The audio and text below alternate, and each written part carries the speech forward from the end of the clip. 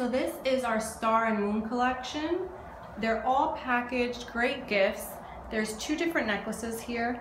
On Emily, you'll see these are all set with stones. The beaded chain has faceted stones here and it's also adjustable. These stones go throughout the necklace, making it really pretty. The assortment has gold and silver.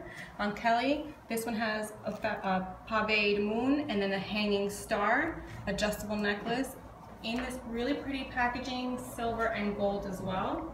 To go along with these, we also have three different earrings. We have a stud set here that's a moon and a sun. And then it also comes in three different options. You have a star star, a moon moon, or they're mixed together and two colors, silver and gold.